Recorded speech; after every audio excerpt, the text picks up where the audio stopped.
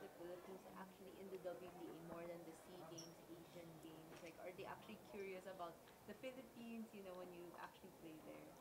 Well, I I would hope so. I mean, um, you know, I'm still new to the tour, and I think it's really nice to see that Philippine flag. Na you know, lahat na tiga Europe, tiga you know East Asia, tiga America, and ako lang yung Pinoy. And I I think right now I'm the highest na Southeast Asian. So um, it's nice to have that representation, and it's nice to you know um, rep- like to represent the country and to represent what we stand for. Yeah.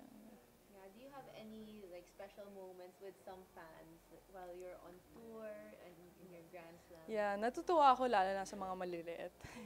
you know, I get some notes or some gifts na parang stuffed toy.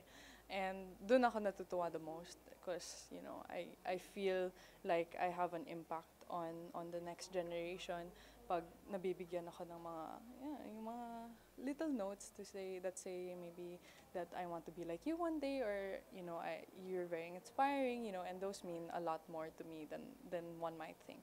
Yeah.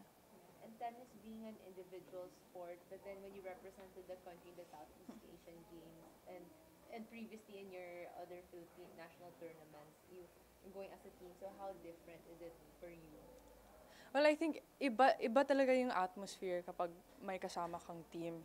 And um, you know, it feels like you're you're really fighting for more than just yourself and it um, you know, it really puts into perspective that you're playing for the country pag madami kang kasama and uh, lalo na sa SEA Games, malaki yung crowd and madaming Pinoy na nanonood.